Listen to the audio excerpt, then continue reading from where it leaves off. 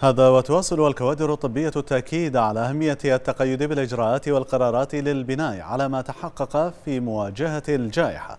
وفي هذا الصدد دعت الدكتورة شيماء النشابة طبيب مقيم في مجمع السلمانية الطبي خلال برنامج بكم نعود دعت الجميع إلى أهمية مواصلة الالتزام بجميع الإجراءات الخاصة بالتصدي لفيروس كورونا للوصول إلى النتائج المرجوة.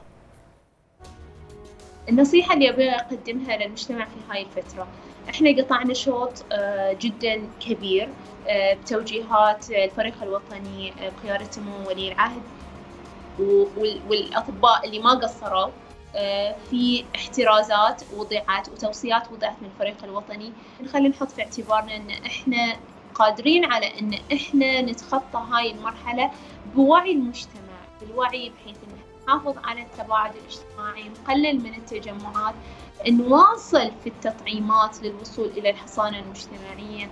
آه، نكون كلنا إيد واحدة نقدر نتخطى هاي الجائحة وإن شاء الله بإذن الله نكون قادرين لأن مجتمع البحرين مجتمع واعي. وهذا بين خلال الفترة اللي طافت. آه، خصوصا الحين الأيامات اللي توها طايفة لاحظنا آه، بسبب الالتزام قلت عدد الحالات وإن شاء الله نتخطى هاي الجائحة إلى بر الأمان.